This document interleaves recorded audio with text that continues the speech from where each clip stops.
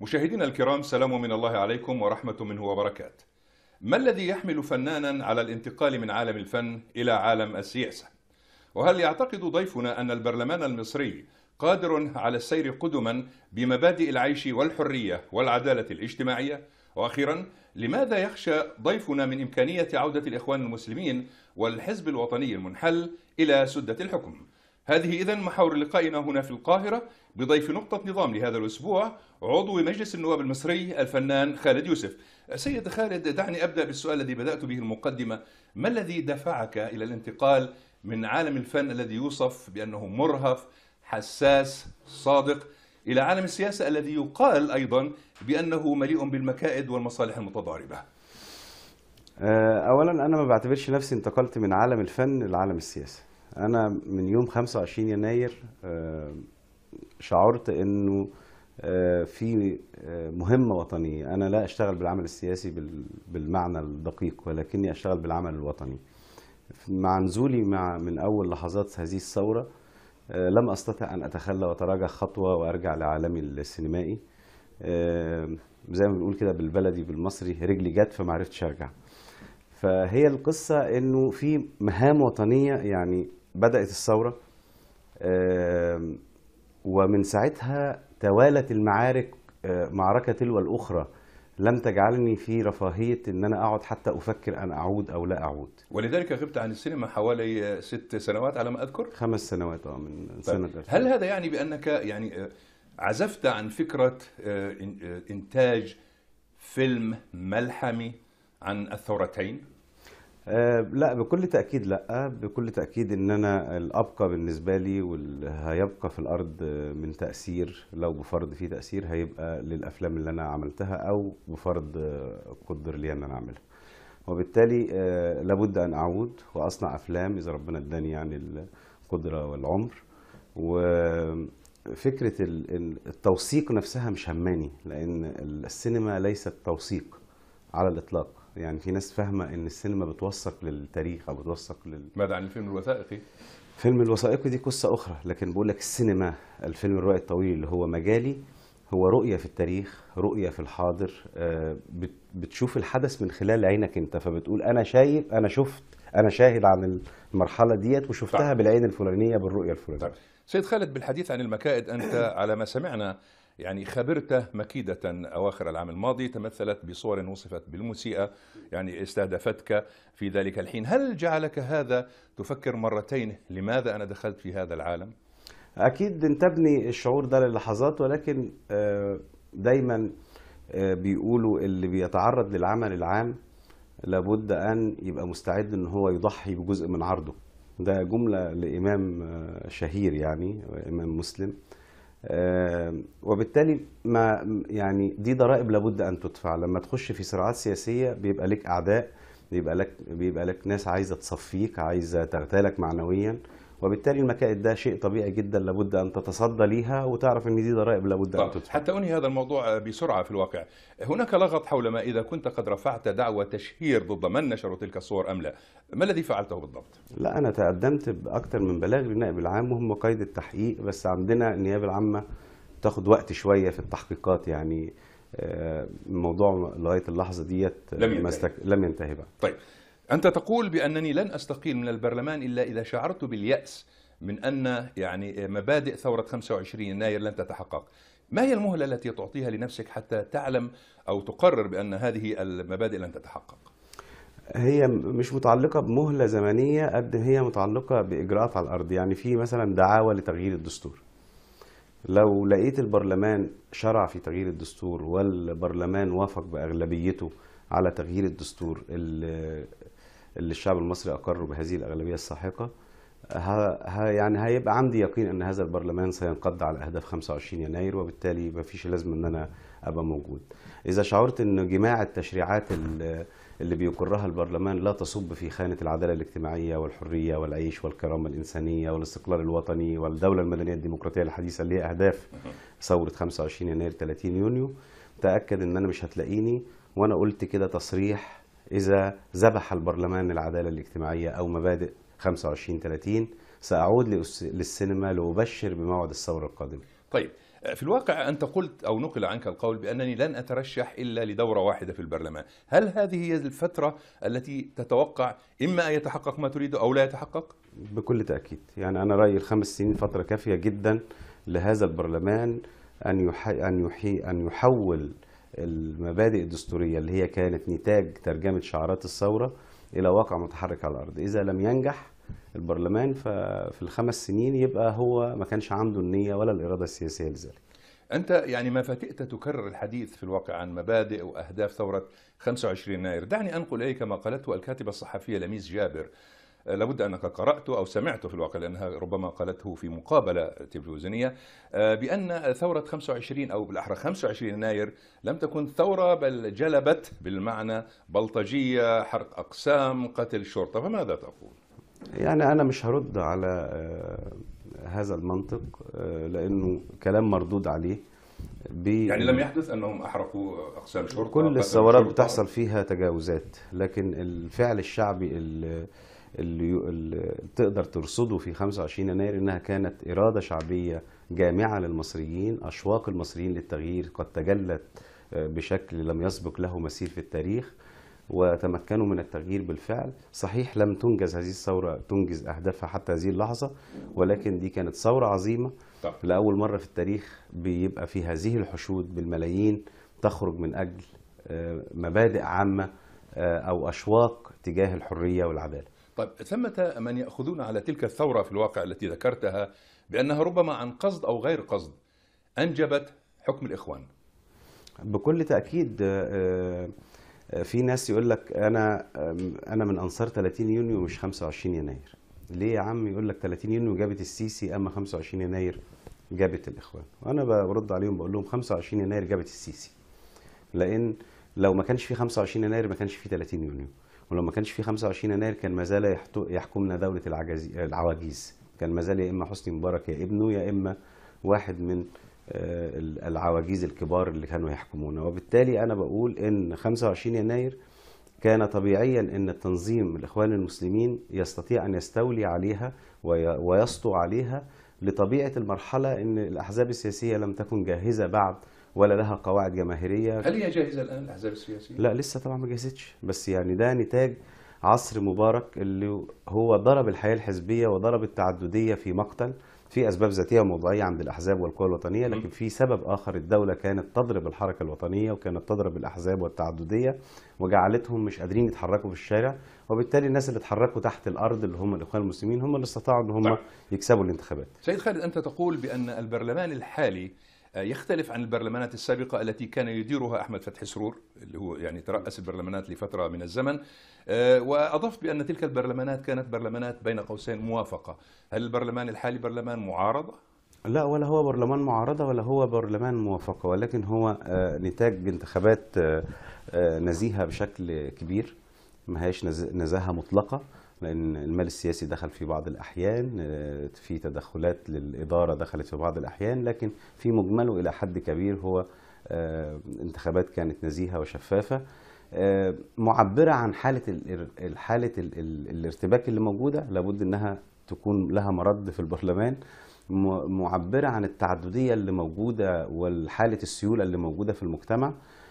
ما هواش تقدر تقول عليه لا هو برلمان آه، موالي ومنسحق ولا هو برلمان معارض ولكن ومناضل. يقول سيد خالد بأنه ربما كان مواليا بالدرجة الأكبر في ضوء الكتلة الرئيسية آه، على ما أعتقد أنها كتلة آه، دعم مصر آه، الذي التي تسيطر على البرلمان والتي تعلن ليل نهار بأنها يعني مؤيدة وموالية بين قوسين للنظام وللحكومة. آه، بص هقول لحضرتك حاجة. هيتضح الكلام ده كله بالممارسات. حتى هذه اللحظة البرلمان لا تستطيع أن أنت تتبين فيه لأنه كان يناقش على مدى شهور لائحته اللي هو النظام الداخلي الداخلي وكان يناقش قوانين كانت قد أقرت في غيبته اللي هم ال 350 قانون.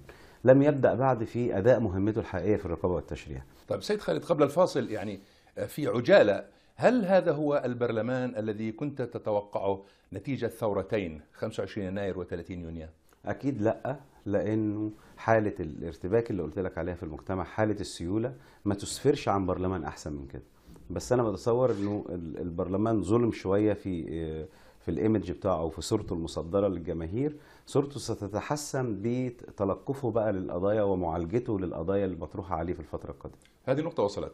إذا مشاهدينا الكرام نتوقف الآن مع فاصل قصير. نواصل بعده حوارنا هنا في القاهرة مع ضيف نقطة نظام لهذا الأسبوع عضو مجلس النواب المصري الفنان خالد يوسف.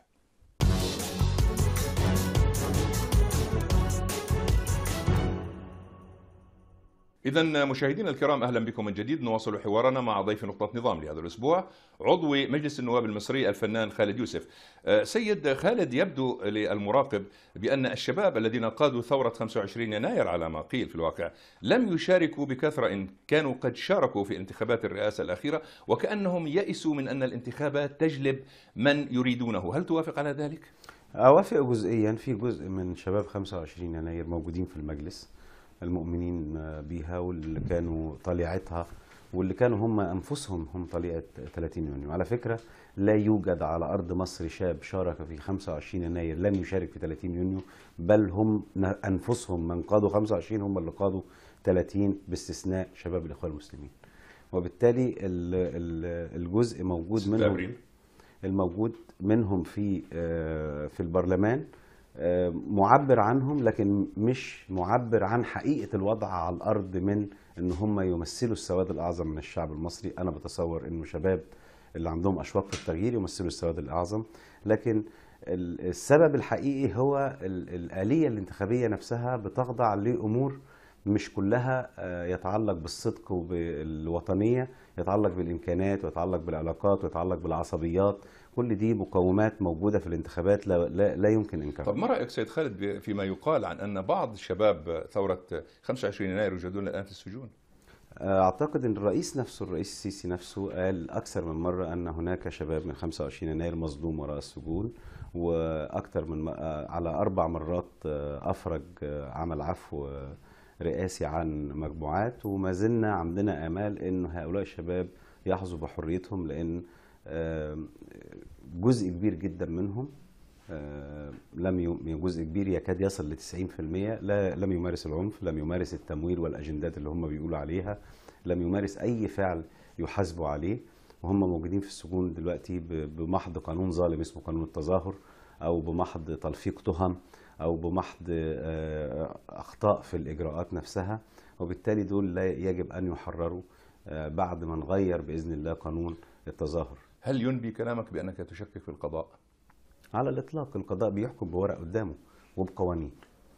فهو ملتزم بالورق وبالقوانين. اللي بيقدم له بيحكم على أساسه. أنا بقول في ظلم في الإجراءات في آه، في آه، قانون ظالم اسمه قانون التظاهر آه، بي- بيعطي عقوبة تصل إلى 15 سنة للمتظاهر. يعني كلام مش موجود في أي قانون في العالم. المجلس القومي لحقوق الإنسان نفسه واللي هو هو أحد مؤسسات الدولة عنده 12 ملحوظة على قانون التظاهر. الشباب دول اتحبسوا بقانون أنا بعتقد إنه ظالم ومخالف للدستور. طيب يعني أنت تحدثت قبل قليل عن المال السياسي الذي استخدم في الانتخابات. هل بالضرورة إذن أن تجلب الانتخابات أكفأ وأنسب الناس في ضوء أنه الذي لديه المال يستطيع أن يدخل في نهاية لا الذي آه، لديه المال مش بالضرورة يستطيع أن يكسب الانتخابات. يعني في جزء من الحكاية. يعني لو أنت اتكلمت على 600 عضو في البرلمان وعايز تقول لي إيه النسبة اللي دخلت ممكن بفلوسها لن تجدها تصل إلى 1% 2% لأن مفيش حد بينجح بالفلوس لوحدها. لكن ممكن يبقى عنده مقومات النجاح ويسندها بمقومات مالية لكن من الأصل يكون لا يمكن ينجح وبينجح بفلوسه ده إهانة أصلا للشعب المصري وإهانة للناخبين أنا بعتقد إن أنا أربأ بين بين إن أنا أقول ولكن قيل أيام الإخوان بأنهم يعني بالسكر والزيت يعني اشتروا الأصوات أليس كذلك؟ لا آه، بالسكر والزيت آه، آه، كانوا بيستغلوا عوز الناس وحاجتهم في إظهار إنهم متضامنين مع الناس مش بيشتروا أصوات بالمعنى بالمعنى الحقيقي بالنسبة للناخب. بالنسبة لنا إحنا وإحنا مشاهدين هو ده شراء أصوات. لكن بالنسبة للناخب بيشعر إن هو متضامن مع فقره ومتضامن مع مأساته وراجل قلبه رحيم والراجل ده لو. حكم سيستطيع إن هو يجيب له حقوقه. فهم بيستخدموها وسيلة مش ل... آه، هي في الحقيقة رشوة لكن بالنسبة للناخب هو بيعتبرها تعبر عن رقته وتعبر عن انحيازه ليه طيب سيد خالد أنت تقول بأن هناك حوالي 50 مليون فقير في مصر وبأن هؤلاء سيفرضون أجندتهم على البرلمان السؤال المطروح هل تعرف أحدا في البرلمان بما فيهم أنت شخصيا لديكم برنامج محدد مخطط لمعالجة هذه المشكلة؟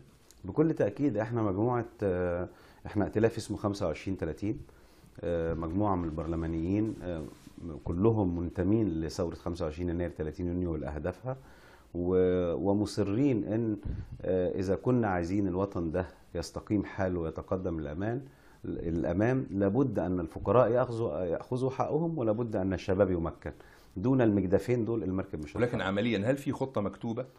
عندنا برنامج وتصور كامل يعني في الرد على بيان الحكومة إحنا كل عضو فينا قام رد على آه، محور من المحاور ولسه بنستكملها وفي الآخر هن بنقدم للمجلس أو قدمنا للمجلس آه، تصور كامل على البرنامج اللي كنا بنطمح إن الحكومة تقدمه للبرلمان. عشان كده إحنا رفضنا بيان الحكومة. طيب أنت قلت لو تمت إعادة سياسات النظام السابق ستحدث ثورة أخرى. ثمة من يقولون بأن الاحتقان السياسي الاقتصادي الأمني الحالي يشبه الظروف التي سبقت 25 يناير؟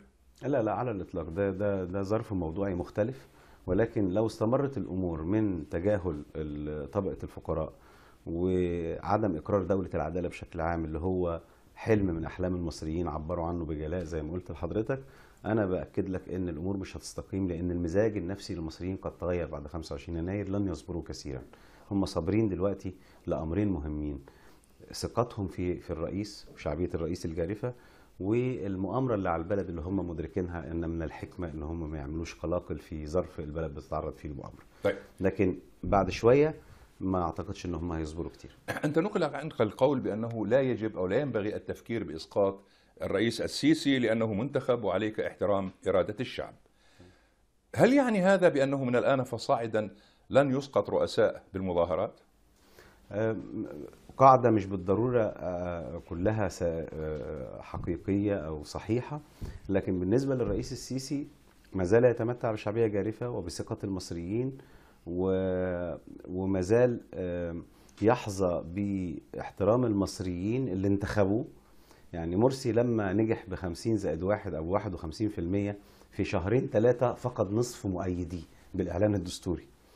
الرئيس السيسي ممكن يكون فقد جزء من مؤيديه بس هل هذه نسب- المعلومة مقاسة أنه فقد آه، هذه النسبة من آه، مؤيديه مرسي؟ آه المظاهرات يوم الإعلان الدستوري اللي خرجت بمئات الآلاف ما هياش عشرات الآلاف يوم الإعلان الدستوري بالليل وحصرت الاتحادية تؤكد ده تؤكد إنه آه، يعني حصل شرخ في شرعية النظام في في بإعلانه الدستوري الرئيس السيسي الأمر مختلف تماما الرئيس السيسي معظم حتى آه، اللي مش راضيين عنه لا يستطيعوا أن يشككوا في لا في وطنيته ولا في انتمائه لهذا الوطن.